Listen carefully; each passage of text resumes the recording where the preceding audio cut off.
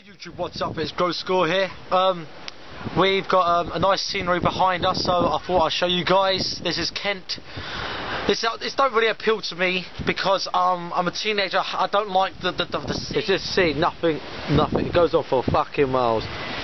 This is it, and this is kind of there's no one around us. I'm here with Josh. I had to make a fight pits video today because I didn't make one on Tuesday.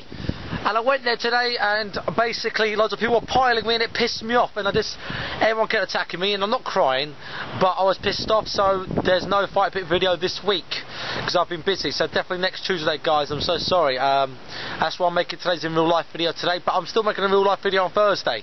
It's like 5 past 6 and I've got to be indoors in 25 minutes for a clan event. So yeah busy busy busy and I've got gymnastics tonight because I want to go fucking backflip some more to get the stress out. So yeah, alright, that's about it from me. Hey YouTube! This isn't Gross Gore. This isn't Crab Sticks. This isn't uh, Colin Firth. In fact, this isn't anybody famous on YouTube yet. This isn't even Badman Ryan. This is Pudding Red Flux. Check it out. Hey Gross Gore fans, this is Pudding Red Flux. I'm going to show you three cool things. Here's the first one, how not to jump over a bench. You ready for this?